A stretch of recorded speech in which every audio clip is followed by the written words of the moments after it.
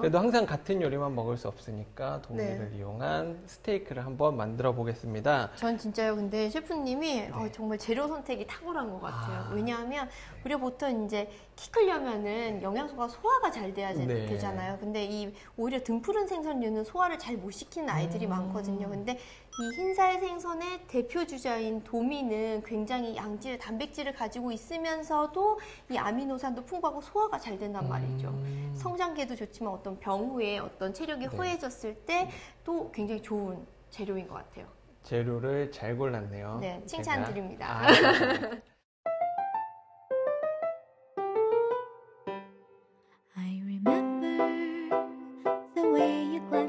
일단 요리를 시작을 하기 전에 도미를 스테이크에 알맞는 사이즈로 먼저 잘라줄게요. 네. 도미는 이렇게 손질돼 있는 거를 사서 사용을 하셔도 되고요. 아니시면 직접 손질을 하시는 것도 괜찮지만 아무래도 번거로움이 많이 따르기 때문에 손질돼 있는 걸로 해서 쓰시는 게 훨씬 음. 편하게. 일단 그 소금이랑 후추랑 올리브 오일로 약간 양념을 해둘 거예요. 아, 올리브 오일도 양념에 들어가네요. 네, 올리브 오일을 살짝 발라두면 네네. 나중에 요리하실 때. 어, 겉부분이 조금 더 부드럽게 아. 조리가 되거든요. 향도 또 좋아질 것 네, 같아요. 향도 좋아지고요. 음. 이 코팅 팬이나 이런 것들에 좀 덜 달라붙기도 하고 아하. 조금 더 부드럽게 조리가 되기 때문에 미리 조금 발라두시면 좋습니다. 정말 맞아요. 팬에 달라붙으면 모양이 완전히 네. 꽝 되잖아요. 네, 팬이 코팅팬이 아주 좋지 않을 때에는 네네. 많이 발생을 하죠. 달라붙는 현상이요. 그렇죠. 이렇게 그런데 은 셰프님, 요 네. 도미를요 고를 때 혹시 어떻게 고르는 게 좋은가요? 저는 보통 생선 고를 때 눈 보거든요. 아, 네. 눈이 싱싱한가 이렇게 보는데 얘는 어떻게 골라야 되는지. 상태를 조금씩 봐가면서 향을 맡아보기도 하고 아. 전체적인 상태를 보면서 선화 중에서도 괜찮은 거를 약간 비릿한 향이 나는 거는 네. 오늘 죽은 게 아니라 어제 죽었을 수도 있겠네요. 비릿한 향이 겉에서 느껴질 정도면 꽤 오래된 걸 거예요. 그렇구나. 네.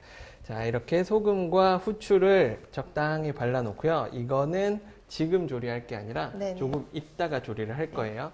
먼저 자, 올리브 버진인가요? 네, 일반 올리브 오일을 네네. 뿌려 주신 다음에요. 네. 홍합이랑 바지락이 어, 예열은 약한 불로 하나요? 네, 네, 약한 하다가 불로 예열을 하고 이제 네, 그렇고요. 바지락 들어가고요. 바지락이랑 홍합이 들어가고 네.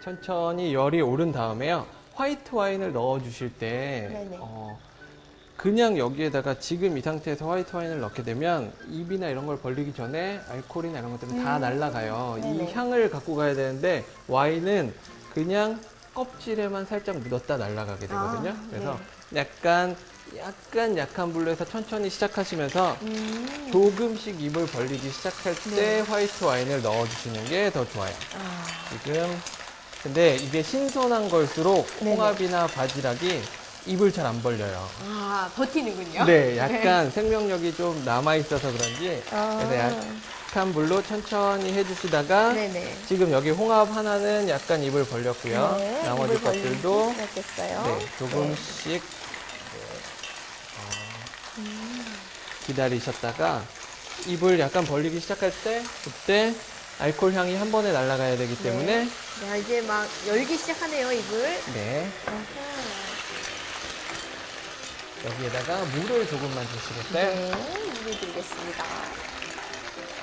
알코올 향이 날아가는 게 바로 느껴지거든요. 음. 그리고 전에 한번 말씀드린 것처럼 지금 이 안에 들어가 있는 와인들이 어, 이 바지락과 홍합의 맛이랑 같이 섞여서 네네. 맛을 더 내줄 거예요. 음. 그러니까 완전 바짝 말릴 때까지 다 날리지 않으셔도 네네. 괜찮아요.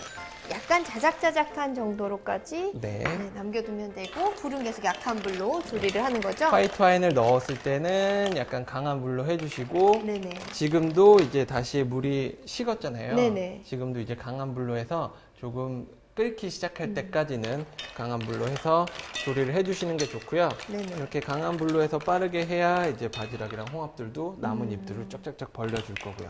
네네. 자, 옆에 예열시켜놨던 그 팬에다가요. 단호박을 조리를 할 거예요. 네. 단호박을 조리를 하는데 단호박을 고를 때에는 파랗게 아주 이쁜 색깔의 단호박보다는 네네. 약간 이렇게 색깔이 노르스름하게. 그게 이제 안쪽에 더 단맛이나 그 단호박 아. 맛들이 더 잘 살아 있어요. 얘가 한마디로 더 잘 익었네요. 그죠? 네. 자, 요새는요 단호박도 막 오렌지 단호박도 나오더라고요. 요즘에 신기한 요리사인 제가 봐도 신기한 식재료가 정말 많아요. 특히 네. 양배추나 막 이런 것들 그 작은 것들 그쵸. 요즘에 방울양배추. 정말 많이 쓰잖아요. 당근도 맞아요. 그렇고 양배추도 그렇고 그런 거 나올 때마다 네네. 어, 새로운 걸 계속 계속 공부해 나가지 않으면 맞아요. 안 되니까 그걸 위해서 이런 것들이 저를 위해서 나와주는 것 같아요. 요리하는 사람들 긍정적이십니다. 공부를 멈추지 말라고 네. 채찍질을 해주는 것 같은 그런 느낌. 자 속에 C 부분을 제거를 하고요. 네. 이 단호박이 환경이나 이런 거에 따라서 제가 이 씨를 심어 봤거든요. 아 정말요? 네. 근데 네. 어, 꽃은 피는데 웬만큼 잘 하지 않아서는 어렵죠. 네. 저희 할머님도 오셔가지고 단호박을 드시고 이게 너무 맛있다. 씨를 받아와라. 그래서 제가 씨를 드렸어요. 네. 근데 싹이 잘 안 트는 것 같더라고요. 네. 꽃은 피는데 네. 이게 호박이 안, 안, 안 열려요. 그게 한몇 년 더 기다려야 되는 건 아닐까요? 자, 단호박을 이렇게 해주신 다음에요. 가운데 부분을 약간 나중에 모양을 위해서 네네. 약간 무른 부분을 네. 걷어내고 이렇게 해서 소간 부분만 약간 잘라주시면 돼요. 이 단호박이요 진짜 저는 거의 식탁에서 빼놓지 않고 먹는 재료 중에 하나예요. 아. 왜냐하면 요새 가공식이며 약간 오염된 음식이 많잖아요. 네네. 이 한방에서 이렇게 노란색 음식은 해독 요리라고 이야기를 해요. 근데 아. 얘는 특히나 중금속 해독을 많이 해줘요. 그래서 뭐 아. 나비나 요새 애들 과자 많이 먹는데 그 포장지가 알루미늄이잖아요. 그래서 네. 알루미늄 중독이 있는 애들이 꽤 있어요. 아. 그럼 많이 얘기해 주는 게 단호박을 드세요.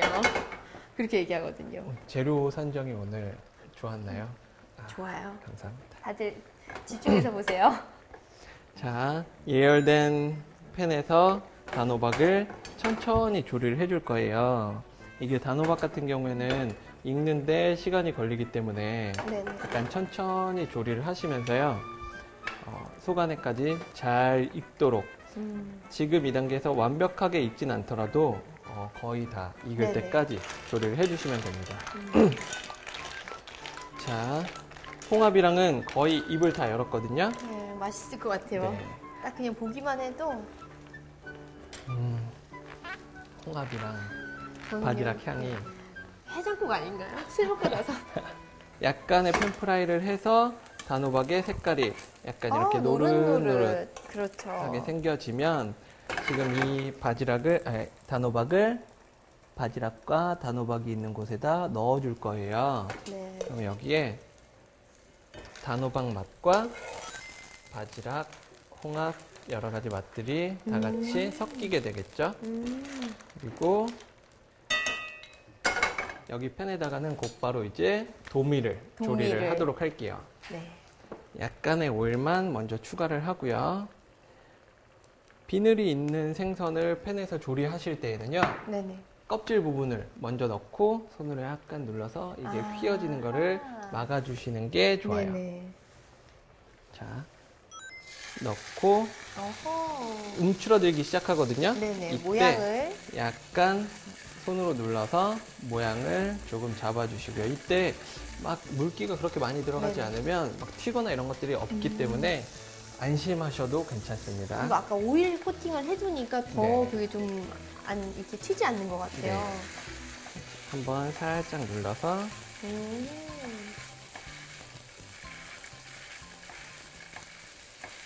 이렇게 막 움츠러들거든요. 네. 자, 도미가 약간 색깔이 네. 노릇노릇하게 될 때까지 팬프라이를 해주고 이것이야말로 명품 백 같네요. 자, 팬프라이가 어느 정도 진행이 되고 나면 이 도미도 어, 완벽하게 속이 다 익은 걸 드시는 것보단 약간 은 덜 익히겠다고 생각을 하시면 음, 퍽퍽한 느낌이 안 네네. 생길 때까지 조리를 하실 수도 있거든요. 그러니까 부드러운 시간- 느낌으로. 네네 그 느낌을 살려주기 위해선 시간 조리 시간을 조금 체킹을 하시는 것도 음. 네네. 중요하고요. 그리고 지금 여기에 단호박들도 한 번씩 뒤집어서 이쪽까지 잘 익도록 해주고요. 아, 이렇게 끓이면서도 한 번씩 뒤집어 주는 게 좋은 네, 거군요. 네. 여기에 이제 이 도미를 넣을 건데요. 음. 가운데다가 도미를 위한 자리를 약간 마련을 해주시고 네. 도미를 넣겠습니다. 얘네가 다 무슨 식구인 것 같아요. 네. 도미가 들어올 자리를 자 네. 비켜주세요. 막 이렇게. 이렇게 아. 잠깐 동안 네. 같이 끓이시면서 도미의 맛도 저 국물 안에 같이 들어가도록 해주고요. 음. 네네. 마무리로 블랙 올리브들을 네네. 조금 다져볼게요.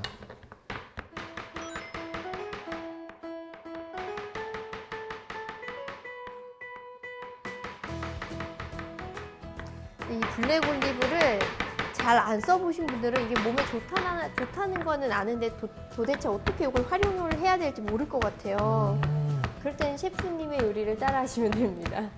되게 다양한 곳에 네. 넣으시는 것 같더라고요. 블랙 올리브가 네. 맛도 좋지만 건강도 많이 챙길 수 있는 식재료 중에 하나고요. 네네.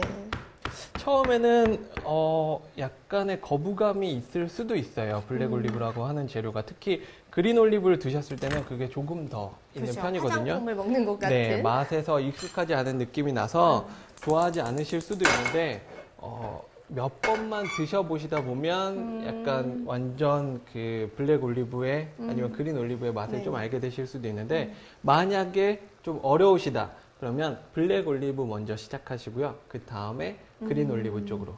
green 올리브는 young한 느낌이기 때문에 네, 어. 영하군요. 네. 그래서 조금 더 향이 강할 수도 있거든요. 이게 블랙 올리브랑 그린 네. 올리브랑 다른 거예요? 그린 올리브는 젊은 거라고 생각하시면 젊은 거? 되고요. 그럼 네. 젊은 게 크면 이렇게 되나요? 네, 시간이 지나면서 그렇군요. 색깔이 약간 종이 짙어지게. 다른 게 아니라는 거죠? 네. 그렇군요. 자, 방금 이 팬이나 이런 것들은 깔끔하게 써서 여기 안에 이 오일들에도 이 여러 가지 맛들이 다 단호박 맛도 지금 여기 들어있을 음. 거고요. 도미 향도 들어있을 거고요. 저 오일은 네. 단호박 도미 오일이라고 할 네. 수도 있겠네요. 향신료나 이런 것들에 네, 오일에다 향신료들을 넣어서 맛을 내기도 하잖아요. 그렇죠. 따로 그런 작업이 없어도 이 안에 맛이 들어있다고 생각을 하시면 돼요. 음. 여기에다가 시금치를 천천히 약한 불에서 조리를 해둘게요. 네, 시금치가 또 들어가네요. 네. 뽀빠이 하면은 또 시금치. 소금 약간 하고요. 네. 후추 약간을 넣어주시고요. 네, 그다음에 네.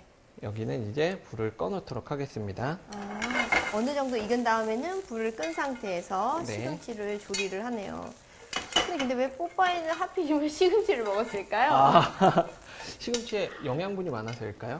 시금치 보통 이제 우리가 네. 철분이 굉장히 풍부한 채소로 이야기를 하거든요. 근데 아. 특히나 채소 중에는 비타민 A가 제일 많대요. 아, 근데 비타민 A 하면 보통 우리가 눈 굉장히 좋게 하는 네. 그런 성분이고요. 또 이 피부의 어떤 면역력도 올려주거든요.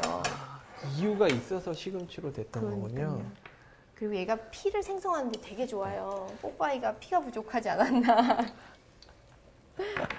자, 엑스트라 버진 오일을 넣고 불을. 끈 채로 팬에서 남은 열기로 살짝 더 조리를 진행을 네. 하도록 할게요.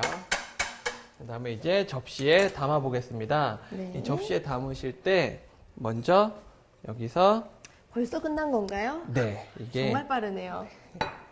자, 여기에다가 껍질들을 먼저 이쁘게 자, 예쁘게 들어갑니다. 네, 올려 놓을게요.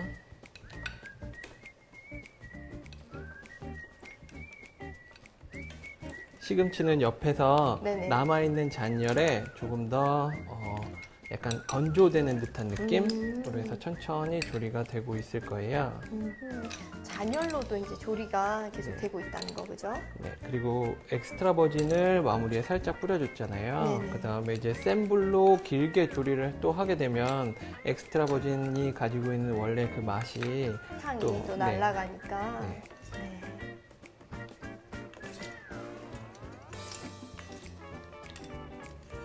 바지락과 홍합들은 음, 모두 건져서 접시에다가 이쁘게 올려놔 주시고요. 그리고 단호박을 꺼내서 도미가 익혀지고 나면 약간 살이 약해질 수 있잖아요. 네네. 도미를 밑에서 받쳐주기 위한 그리고 접시 음. 전체에 약간의 그 볼륨감을 더하기 위한 그런 재료로 생각을 하시면 돼요. 단호박이 역할이 많네요. 네, 맛도 그렇고 여러 가지 할 일이 좀 많죠. 네. 그 위에다가 이제 도미를 올려주시고요. 그리고 블랙 올리브 다진 거를 네. 도미 위에다가 음. 살짝 올려주시는 거예요. 나머지 한 조각도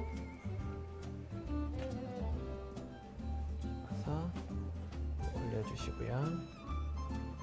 그다음에 남아있는 블랙 올리브를 다시 한 번더 위에다가 살짝 올려주시면 됩니다. 네. 이렇게 한 다음에요. 소스를 사용을 네. 할 건데 이걸 다 농도가 날 때까지 졸이면 아주 짜질 거예요. 네네. 그러니까 아, 이 국물은 네. 소스로 또 활용을 하는군요. 네, 약간은 빼주시고요. 네. 그리고 불을 한 번 더 켜서 제가 요리를 할 때 이제 빠지지 않는 것 중에 이제 엑스트라 버진이 있잖아요. 네. 오일 소스에 대해서 간단하게 말씀을 드릴게요. 네네. 오일 소스라고 많이 표현을 하고 어, 오일 베이스라는 음. 표현도 많이 사용을 네네. 해요. 이 오일 베이스라고 하는 건 그냥 이 접시에 오일이 흥건하게 있다고 그게 오일 소스가 되는 게 아니고요. 네. 약간의 이 물기와 아하. 올리브 오일이 만나서 걸쭉한 느낌을 만들어주게 돼요. 그 상태가 오일 소스라고 생각을 하시면 돼요. 음. 끓기 시작하잖아요. 네. 잠시만요. 끓기 시작할 때 여기에다가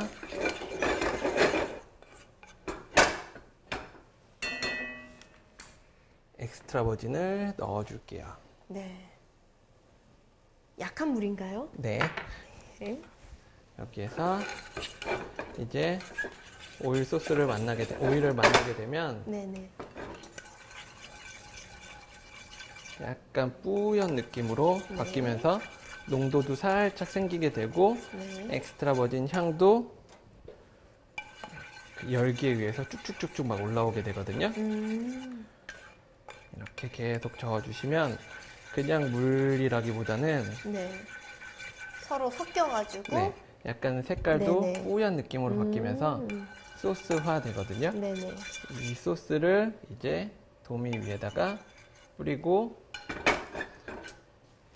결국은 저 이제 국물에다가 네, 올리브 그 extra virgin을 네. 같이 섞어가지고 살짝 약한 불에다가 끓이면서 저어서 네, 요걸 올리면 그게 바로 소스가 되는 거군요. 네. 그리고 조금 전에 볶아놨던 시금치를 볶아놨던 시금치를 이 위에다가 네 위에다가 올리시면 뿌려주시고요.